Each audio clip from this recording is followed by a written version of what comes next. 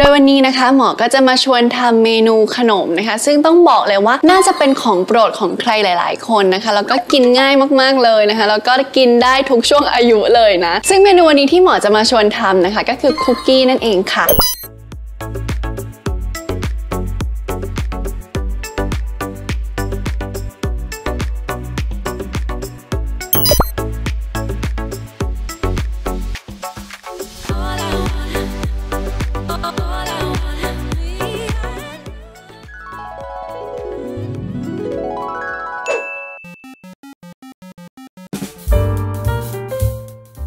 สวัสดีค่ะ นี่ก็อยู่กับหมอแอนนานะคะ Dr.Anna One Fine Day ค่ะ แล้ววันนี้นะคะ เราก็อยู่กันในครัวอีกแล้วนะคะ โดยวันนี้นะคะ หมอก็จะมาชวนทำเมนูขนมนะคะ ซึ่งต้องบอกเลยว่าน่าจะเป็นของโปรดของใครหลาย ๆ คนนะคะ แล้วก็กินง่ายมากๆเลยนะคะ แล้วก็กินได้ทุกช่วงอายุเลยนะ ซึ่งเมนูวันนี้ที่หมอจะมาชวนทำนะคะ ก็คือคุกกี้นั่นเองค่ะ เดี๋ยวเราไปดูกันดีกว่าค่ะ ว่าส่วนผสมจะมีอะไรบ้างนะคะ และขั้นตอนการทำนั้นเนี่ยจะเป็นยังไงนะคะ ตามมาดูกันเลยค่ะ แต่ก่อนที่จะไปทำกันนะคะ ฝากกดไลค์กดแชร์กด subscribe นะคะ แล้วก็เป็นกำลังใจให้หมอด้วยนะคะ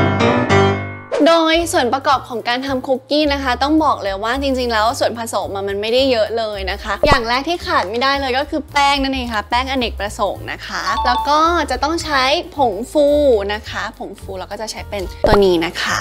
หลังจากนั้นนะคะก็จะใช้เป็นกลุ่มของเนยนะคะ โดยวันนี้เราก็จะใช้เนยเค็มนะคะ แล้วก็คือใช้เนยสดด้วยแล้วก็ใช้ตัวเนยขาวด้วย เพราะว่าการที่เราใช้เนยขาวเนี่ยมันจะทำให้คุกกี้อะมันกรอบนานมากขึ้นนะคะ แต่ว่าใช้ปริมาณไม่ได้เยอะนะ แล้วก็จะต้องผสมน้ำตาลทรายนะคะ เพื่อให้ได้ความหวานนะคะ กลมกล่อมนั่นเองค่ะ และที่ขาดไม่ได้เลยของการทำขนมเลยก็คือกลิ่นนั่นเองค่ะ กลิ่นที่เราจะใช้ในวันนี้นะคะ จะใช้ 2 ตัวด้วยกันนะคะก็คือกลิ่นเนยแล้วก็กลิ่นวานิลานะคะ แล้วสุดท้ายเลยก็คือช็อกโกแลตนั่นเองค่ะแล้วก็จะใส่ไปเพื่อให้คุกกี้นั้นเนี่ยมี t e x t อร์แล้วก็มีรสชาติที่อร่อยมากขึ้นนั่นเองค่ะขั้นตอนแรกที่เราจะทำนะคะ ก็คือเราจะตวงส่วนผสมกันก่อนนะคะ โดยส่วนผสมนั้นเนี่ยจริงๆแล้วก็จะแบ่งง่าย ๆนะคะ เป็นของแห้งกับของของที่เราจะตีก็คือเป็นกลุ่มพวกเนยพวกนี้นะคะ อันดับแรกเลยที่เราจะใช้ก็คือแป้งนั่นเองค่ะ โดยในสูตรนี้นะคะ แป้งจะใช้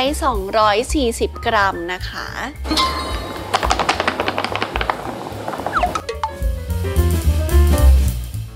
หลังจากนั้นนะคะเราก็จะใส่ผงฟูลงไปนะคะ 1 ช้อนชานั่นเองค่ะ โอเค ก็จะเป็นส่วนของแป้งกับผงฟูเนาะต่อมาสิ่งที่เราต้องเตรียมนะคะก็คือเนยนั่นเองค่ะ โดยวันนี้อย่างที่หมอบอกนะคะ เราจะใช้เป็นเนยเค็มนะคะ โดยเนยเค็มเนี่ยจะใช้ทั้งหมด 180 กรัมนะคะ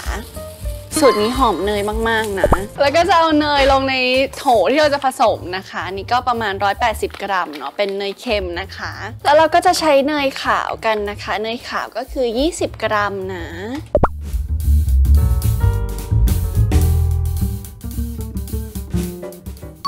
หลังจากนั้นนะคะเราก็จะตวงน้ำตาลทรายนะคะ น้ำตาลทรายที่ใช้ก็คือ 80 กรัมค่ะ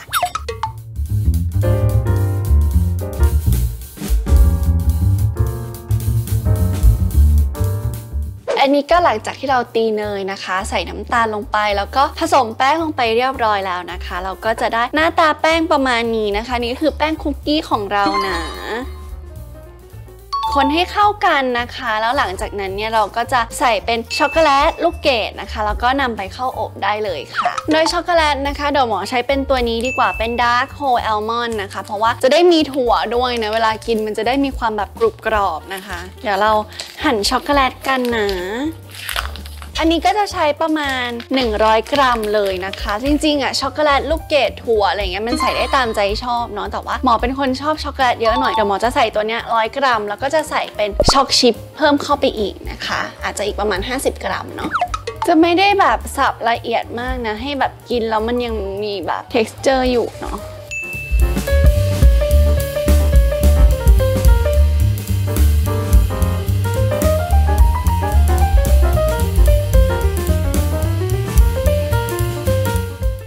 แล้วก็หลังจากที่เราคนจนส่วนผสมเข้ากันเรียบร้อยนะคะ อย่างที่บอกว่าใครชอบอะไรก็สามารถใส่ได้เลยนะ ไม่ว่าจะเป็น dark choc milk choc white choc หรือว่าจะใส่ลูกเกดหรือว่าถั่วนะคะ อันนี้หมอก็ใส่เป็นช็อกโกแลตนะคะ ก็ใส่ทั้ง dark milk แล้วก็เป็นช็อกโกแลตสีทองเลยนะคะ หลังจากนั้นเนี่ยเราก็จะเอาเข้าอบกันนะคะ โดยเราก็จะตักออกมาเป็นลักษณะกลมๆนะคะ ไม่ต้องใหญ่มากเนาะเพราะว่าเวลาอบพวกนี้มันจะขนาดมันจะขยายขึ้นไปอีกนะคะ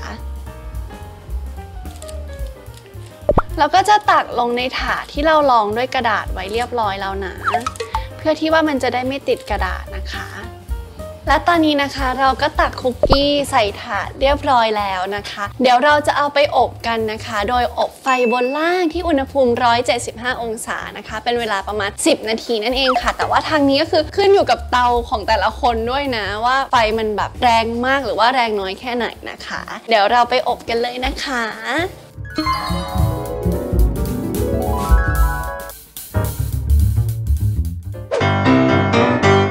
ค่ะแล้วหลังจากที่เรานะคะอบคุกกี้กันเสร็จเรียบร้อยนะคะ อุณหภูมิ 175 องศาไฟบนล่าง 10 นาทีนะคะ เราก็ได้คุกกี้ออกมาเป็นที่เรียบร้อยแล้วนะคะ ก็ต้องบอกเลยว่าจริงๆสูตรเนี้ยทำง่ายมากๆ แล้วส่วนผสมไม่ได้เยอะไม่ได้ซับซ้อนนะคะ ยังไงก็ลองไปทำกันดูนะ แล้วรสชาติออกมาเป็นยังไงชอบหรือไม่ชอบก็คอมเมนต์กันได้นะคะ หรือว่ามีสูตรไหนที่แบบแนะนำหรือว่าอยากให้หมอทำก็บอกได้เช่นเดียวกันค่ะ สุดท้ายนี้นะคะฝากกดไลค์กดแชร์กด subscribe นะคะและอย่าลืมกดกระดิ่งแจ้งเตือนนะคะ จะได้ไม่พลาด EP ต่อไปค่ะ แล้วเจอกันใหม่คลิปหน้านะคะทุกคน